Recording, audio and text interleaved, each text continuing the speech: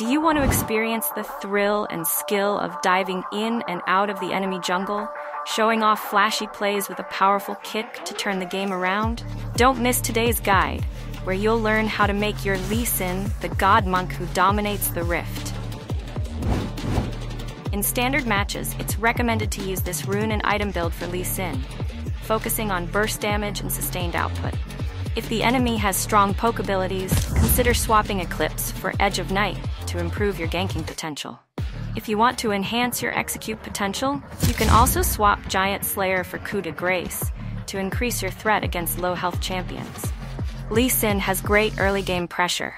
First, make full use of his passive by landing two fast auto attacks after casting Sonic Wave, restoring energy while increasing the damage of the second part of Sonic Wave, making jungle clearing much faster.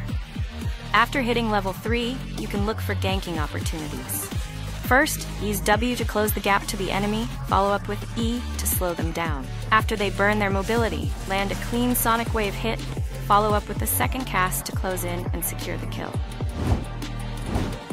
In team fights, Lee Sin needs to assess the situation and adapt.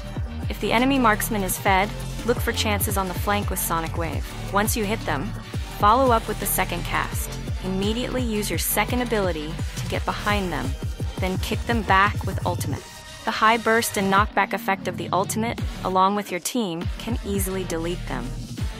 If the enemy bruisers try to dive your backline, use your ultimate to kick away their front line while trying to knock up multiple enemies, giving you more time to deal damage.